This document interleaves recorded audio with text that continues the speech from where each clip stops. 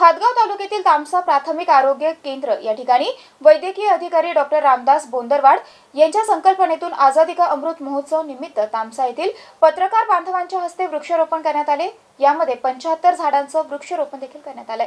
आझादी का अमृत महोत्सवी वर्षानिमित्त प्राथमिक आरोग्य केंद्र या ठिकाणी पंच्याहत्तर वृक्षांचे वृक्षारोपण पत्रकार बांधवांच्या हस्ते करण्याची संधी मिळाली असल्याचं डॉक्टर रामदास बोंदरवाड यांनी सांगितलंय. यावेळी मराठी पत्रकार संघाचे अध्यक्ष बाळासाहेब खांजोडे ज्येष्ठ पत्रकार रंगराव कांबळे अर्जुन जोशी आणि मराठी पत्रकार संघाचे सदस्य सचिव उपाध्यक्ष तसेच सर्व पत्रकार उपस्थित होते. यावेळी doctor Sneha Khilare doctor Siddharth Pohare doctor Vitthal Khanjode Maruti Chavan Ratnamala Shewalkar Vishnu Shakti Dhole चालक सतीश छत्रे बालाजी गंगातीर चक्रधर खानसोले यांच्यासह प्राथमिक आरोग्य केंद्राचे कर्मचारी उपस्थित होते. या कार्यक्रमाचे सूत्रसंचालन सुभाष राठोड यांनी केलंय. Balasaheb Khanjode MCN news Hadgaon.